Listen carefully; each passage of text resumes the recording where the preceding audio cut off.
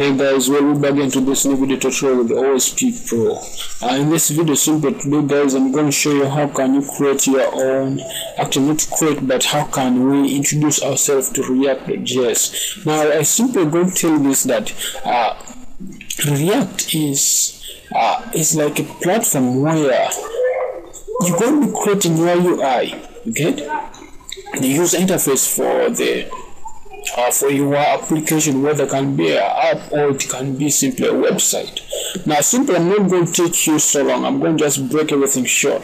Now, before you have React installed in your machine, please first make sure that you have Node.js installed in your machine as the first requirement because we need that actual end uh, we need the npm uh, the node package manager to actually enable us run stuff from the command line.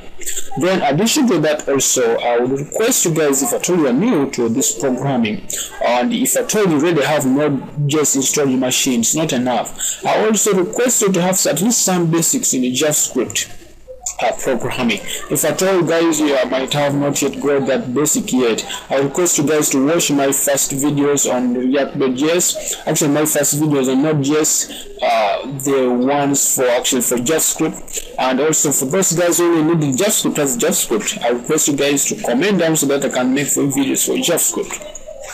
Now, React, you can uh, make uh, apps based on if you're told you want like to use one as the native uh, React Native. That just behaves just like you can see Android Studio, uh, which you shall be using one as XDXE. Uh, to make and compile our app and completely be on the smartphones if I told you to use them as the emulator. Now, I'm just go straight forward and show something later. Now, I've said this way, go and get actually and install your React in your machine uh, now I'll just go straight to my uh, since this is going to be a first video I'm just going to go take you through the tutorial and how can you create into a make into a simple app uh, with Node.js simple. I'm just going to show how to can install app uh, Node.js in your machine and I think it just goes straight to this tutorial video down here, which is just in the description in this very uh, page you're in. So I've already opened up one. So these are the following steps you have to do if at all already have one as uh, npm or one as not not installed in your machine. So I'm just going to go straight to my CMD.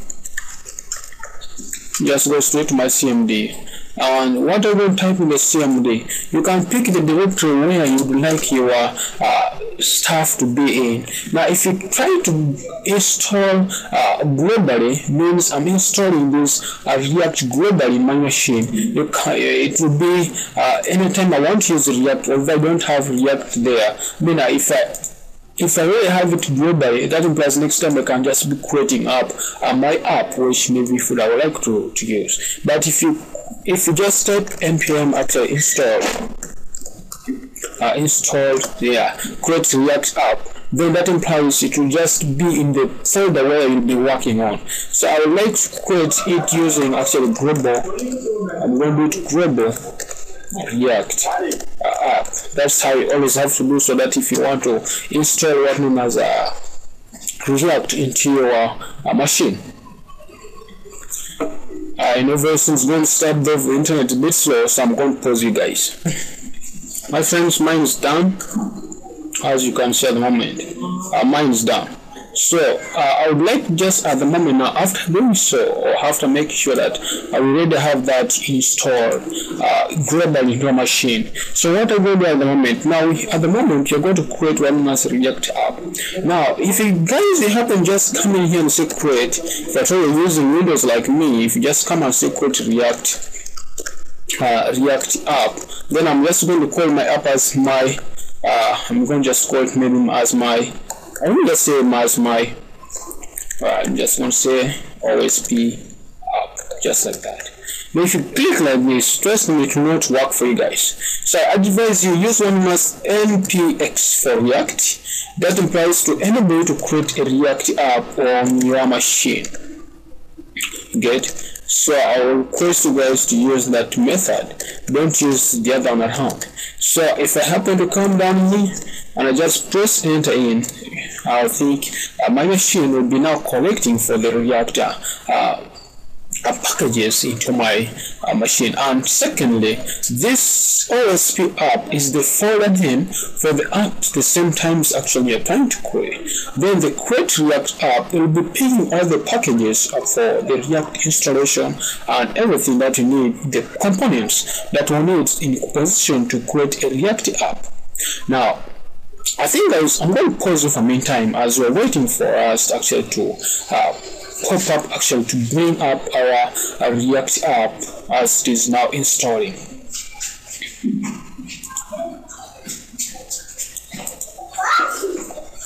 Okay friends, now my uh, program is done with installation. So to run our program, now remember, uh, during the time of installation of all our projects today, we happen to install them in users OSP. So if I happen to come back here and I go to my directory where OSP is in users, users then OSP, which is here. You just go find our project here down, but this is not good practice. I would encourage you can create your folder anywhere within your machine you can create anywhere or that is just an external disk still you can put in your entire program so if you double click in here you'll find all the places and all the requirements needed for you guys to happen to create your program so I'm gonna just open up here. Uh, I think since everything's done you can just open up using Sublime Text or any editor of yours. So if I just go Sublime Text I'm just going to create an entire program.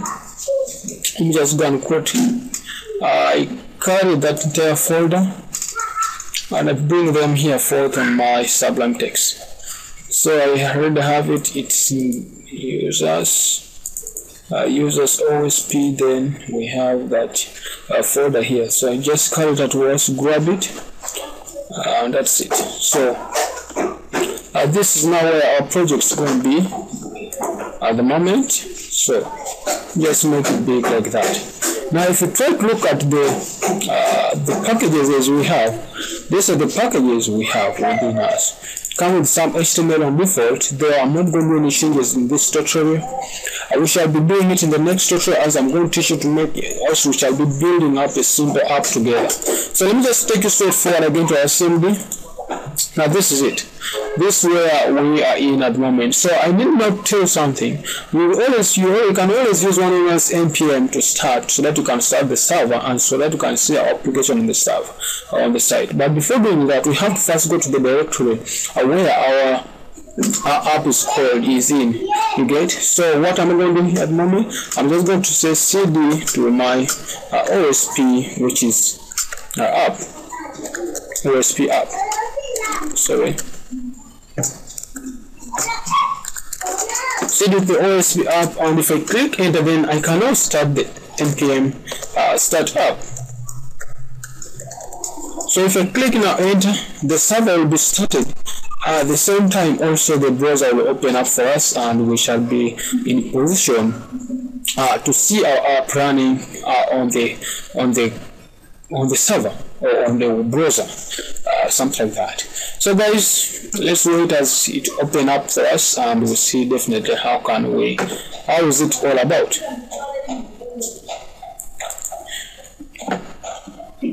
Um, soon it's going to be opening and we shall be in touch to be uh, seeing it opening up for us. Let me just close some of the stuff off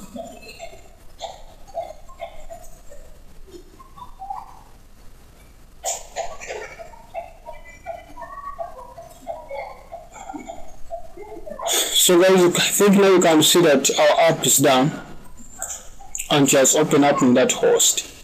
You get just like you can see right from here running on my server. So we have started up the development uh, server. Uh, so the server is running and soon it's going to uh, bring the entire information for our site uh, to be popping up on this or the browser at the same time we're doing the stuff so guys that's it. I uh, just thank you guys for uh, watching these videos. Please this uh, if this really helped you out my friend there please i request you guys just subscribe to my channel you know just like the video. Uh, comment down there so that i can know who uh, what next what's that that you're like you know? Uh, you know guys some of you are coming from just from java background even i also know java. But the point is that it's kind of hectic and takes some good time. But you can use a react uh, React and React Native to make a complete app with which someone of Java also can maybe do uh, using Android Studio or even also other person who are using Ionic still can do. So guys that's it. Please thanks for watching this video. Don't just get for actually don't forget to subscribe to my channel. Thank you guys. Love you all.